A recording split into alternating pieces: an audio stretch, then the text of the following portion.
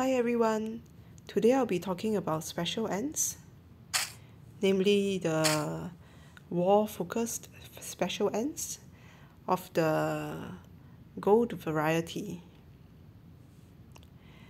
Everybody should be familiar with the gold armor. You receive a copy of the gold armor at the day 7 for the login rewards. You'll see here with on this page the classification of the special ant, melee, universal. Uh, you'll see also the eight skills at the bottom to unlock.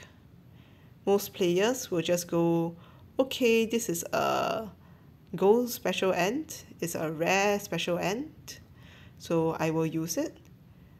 Um, uh, and then uh, not really understand what's going on with the skills at the bottom. So what I've done here is that I've consolidated the skills, the description for the gold special ants, uh, and I've created a spreadsheet. Okay. In this spreadsheet, you'll find a link in the description box below um, for the 11 special ants, the 11 uh, combat-based special ants that we are talking about today. Um, uh, I have the description here on the left side, the classification. I have the name of the special ant. Um, uh, you'll notice that I have put up uh, further uh, classification of the special ants uh, they have different classes there are different colors here. So the first three are, com are attack focus special ants. The bullet and the Slim Edge are defense focus special ants. Uh, the driver and giant tooth are support ants. Spiny is a hunting ant. And then the specialists are um, specialists in their own classes.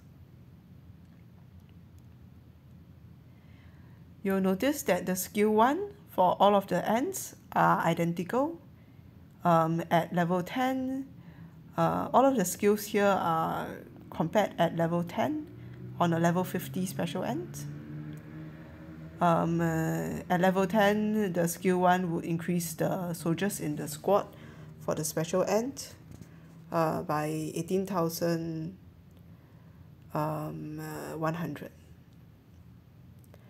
I've arranged the skills also so they um, uh, so, so it's a bit clearer.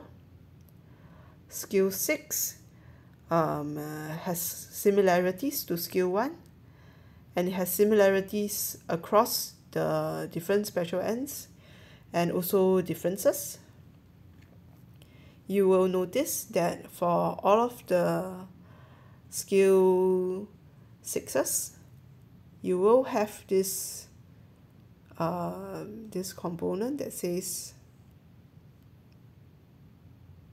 oh no undo undo. Okay.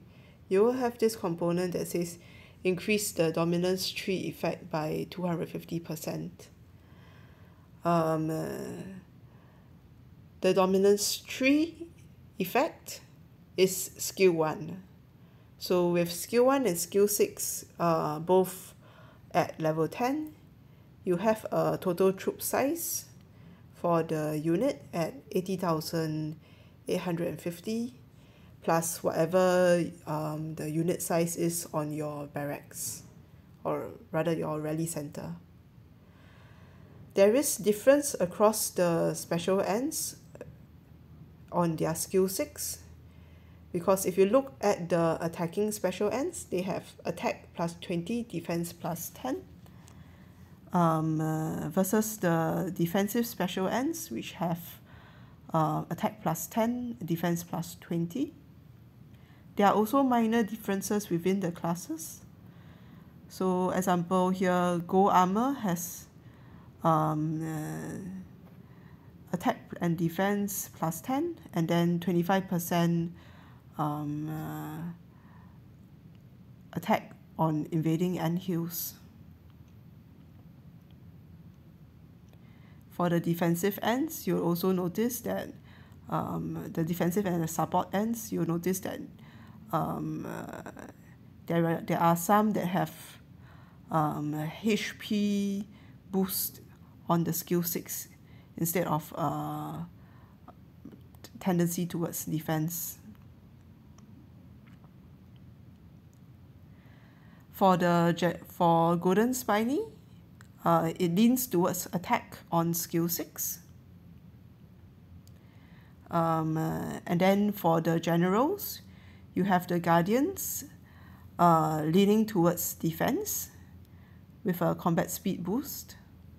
Um, and then the acid general and the new world general uh, have their shooters and carriers leaning towards attack. And uh, further damage dealt for the acid general and uh, combat speed boosts for the new world general.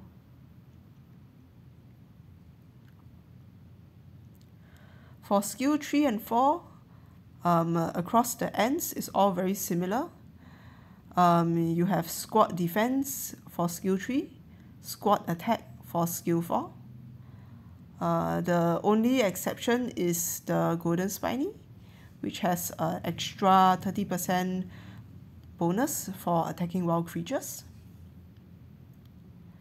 For your specialists, you have a further increase to the defense and the attacks, but only for their class. So their percentage boosts are 35% rather than uh, 30% for the universal ants. Skill 7 uh, provides either an attack or defense or HP um, boost. Um, and it's different from skills 3 and 4 because instead of boosting the squad only, the skill 7 boosts the entire unit. That means if you have uh, gold armor, uh, gold sugar, and jack jumper all on the same unit, they will each receive their own 30% attack boost on skill 4 and then another um, 20%, 10 or 20% attack boost from their skill 6. And then uh, they will each receive an extra 90% um, attack boost from each other's skill 7. So 3 by 3, 90%. So that's why the attack ants are classified here together. Uh, they all have um, additional attack boosts on their uh, skill 7. The defensive and support ants have alternately um, uh, defense boosts and unit health boosts on their skill 7 so that digs into their ability to soak up more damage and then to um, make it harder for the opponent to attack into your uh, and kill your troops.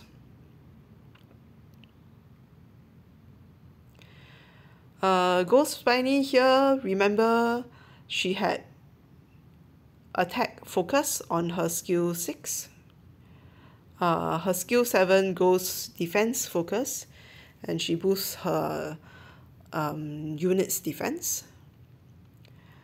Likewise, uh, the guard general leans defensive, whereas the attack and sorry the acid and new world generals lean towards attack. So their skill sevens reinforce that, but only for their class. Here I have an additional column um, only for Gold Spiny uh, her skill 8 gives her an additional 30% attack to her squad.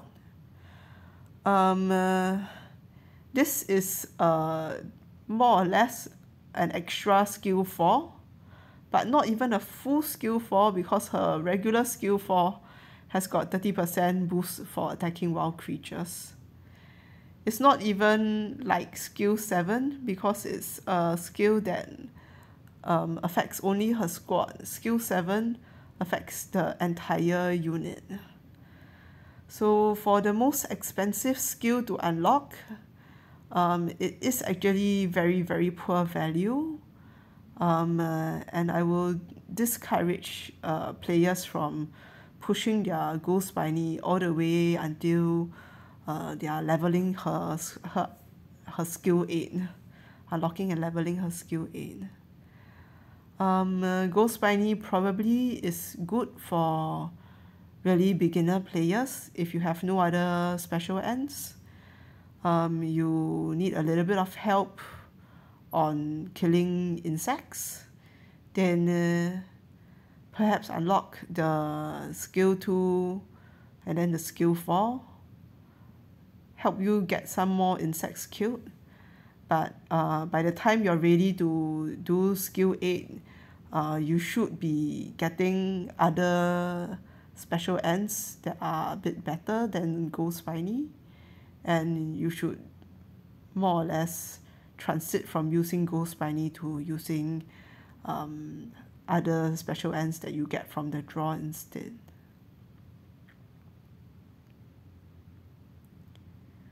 Alright, so over here I've consolidated the uh, total boost of the special ant for attack and defense and HP. And you can see how the uh, attack base ants have more attack, the defense base and the support base ants have more defense and more HP. Um, uh, you can see how the um, generals also lean towards uh, attack for the shooters and the carriers and then defense for the guardians.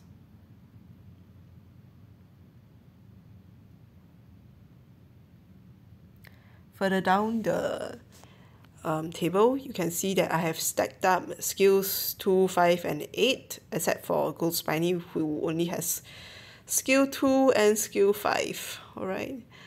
Uh, these are the activate uh, these are the active skills for the ants. Uh, some of the skills have conditions or activate only on certain rounds. Um, uh, there, there is a percentage chance that they activate or not activate. And if they are damage-based skills, uh, there's a listed percentage damage on the description. Uh, these are numbers taken from the level 10 skill. Uh, some of the skills also increase at different rates depending on the special ant level. Uh, so this is the scaling. And then uh, we have the total damage output at uh, level 50. So uh, level 50 special ant, level 10 uh, for each of the skill. And uh, if I take the 50 times 2.5%, and I add to the base skill here, then I'll have the total damage output. Uh, the skills may hit any number of targets, so this will tell you how many targets it can hit.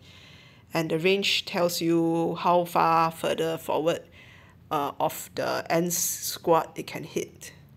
So if a ant has a range of 1, it will hit directly the squad in front of it that means if it is in the front line, the first position of your squad, it will hit the first position of the opposing opposing uh, the enemy. Some of the skills have uh, effects.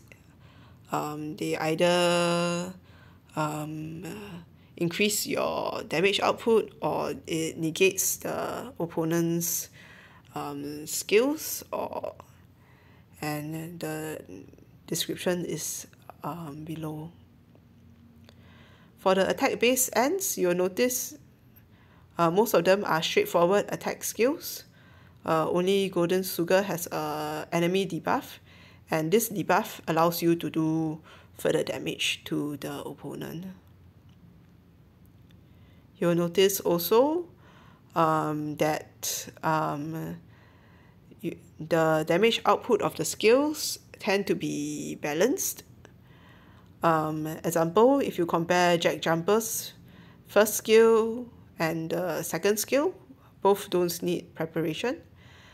The second skill has a much higher activation rate, but the damage output is lower. It scales less also.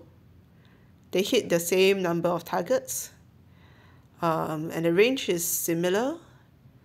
Alright, but uh, the damage output of the second skill is lower, but it's more consistent. If you look at the third skill, it has a very, very high damage output, uh, but the incidence is quite is uh, lower.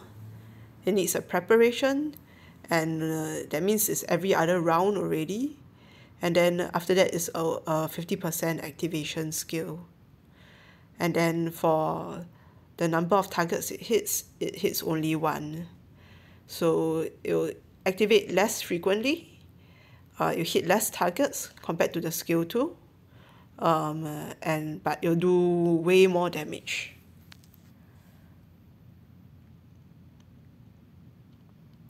For the defensive ants, they do have uh, damage skills. So their skill 1 and skill 2 here are straightforward damage skills also, Slim Edge and Bullet.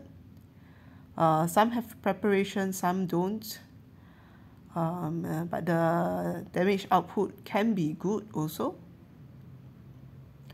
Uh, the third skills for Bullet and Slim Edge are um, uh, control skills.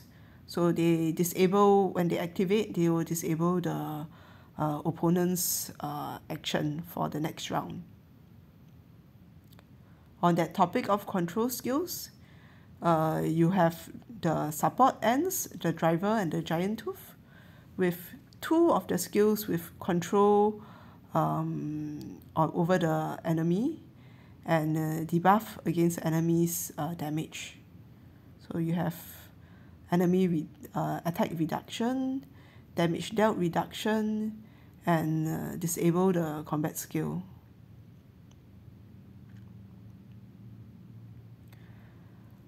Um, uh, so you can see how the the game actually has classified the the ants as support because they are there to help you stay alive.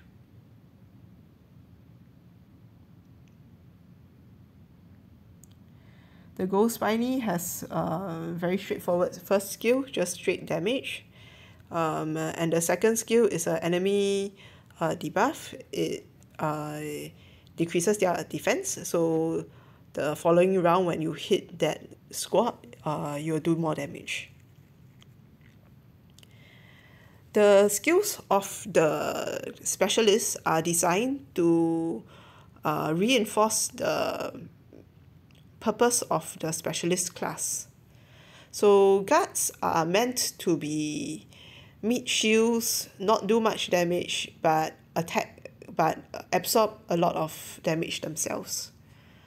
Alright, so the skills of the guard general uh, lean really, really strongly into that. On the first skill, it has uh, round one round prep and a really fairly low incidence rate despite the one round prep. It does a lot of damage for guards. It scales quite well and hits two targets. The problem with this skill is that after it act activates, um, uh, the guards, the guard general's own squad will be debuffed for two rounds and it loses attack. Right? You'll notice also for the guard general, skill 5 and skill 8 um, uh, are zero damage output skills. Skill 5 will reduce the damage taken by two ally squads. I will assume that ally uh, might be its own squad also. The skill 8 um, activates at a high rate. 70% is a very good activation rate. Um, but what it does is that it uh, reduce that it negates the enemy's uh, combat skill.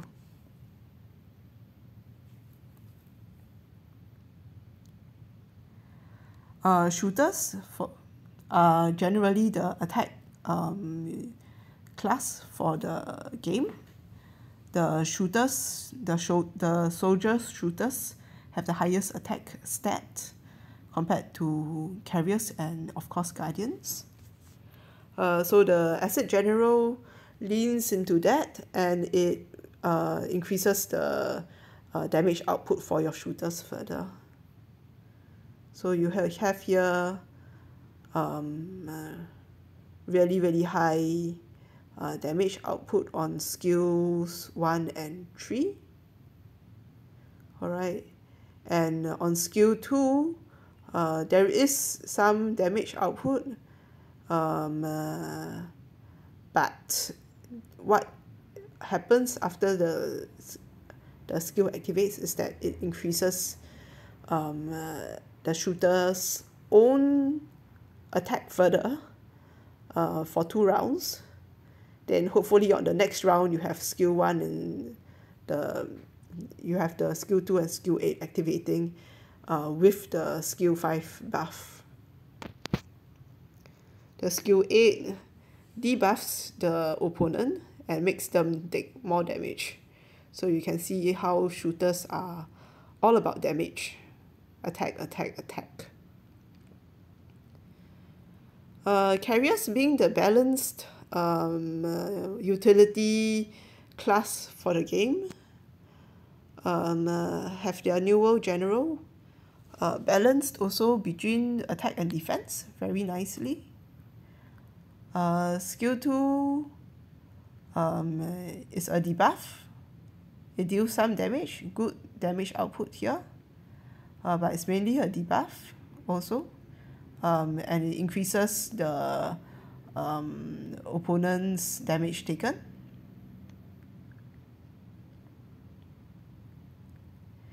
Skill 5 is a protective skill. It decreases the um, it decreases the opponent's skill damage by 35% and this is quite incredible because it is uh, four rounds of activation of 100%. Um, the skill 8 is a straight damage skill for the New World General. So it has got one buff of your own attack, one debuff of the opponent's um, attack, and then one skill that does uh, that is focused on doing damage for you. Right. So I hope this helps everybody to understand the special ants, the different special ants, and what they are designed to do and what they are good to do, um, and how you should use them. For groundhogs, uh, ideally what you'll do is you'll stack all of the attack special ants or maybe perhaps uh, the acid and new world general but uh, making sure that uh, you are using a pure class all three units full of shooters or all three units full of carriers for that uh, for the way if you're using the generals.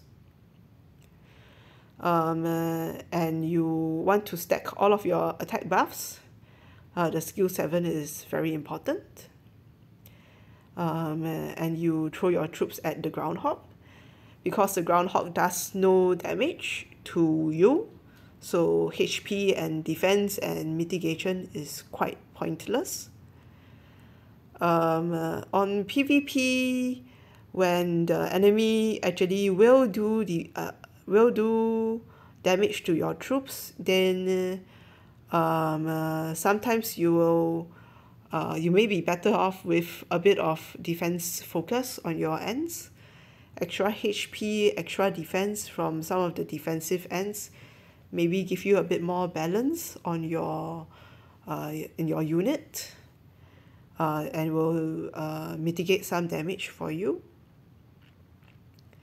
Spiny golden Spiny I think is designed as a um, uh, beginner's ant, as mentioned before.